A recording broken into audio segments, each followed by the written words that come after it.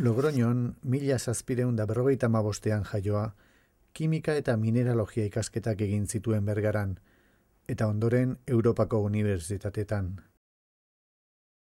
Bere anaia Juan Joserekin batera, Uelframioaren isolamendua lortu zuen. Hogeita mairu urtez, Mexikon bizi izan zen, bertan mehatzetako zuzendari nagusiaren kargua onartuz.